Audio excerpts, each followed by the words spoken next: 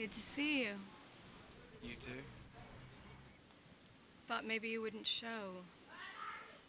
Well, I nearly didn't. Shall we walk?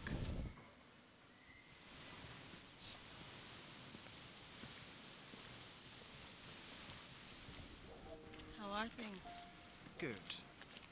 You never were a good liar. Part of the reason I made a terrible spy, I guess. You were one of the best. You are one of the best. You got it right the first time. When are you coming back, Patrick? Is that why you asked me here? You know it was. And you know my answer. We'll protect you this time. Protect me. you think this is about me wanting some kind of protection? Then what? The system's corrupt, Dawn. Nobody could have helped what happened in Russia. You did good work. Yeah, until the Americans came through the back door and stole the Mackenzie files. So what? You'd rather have those people die. Of course not, but there's a war brewing over my actions. I didn't sign up for that. Then what did you sign up for, Patrick?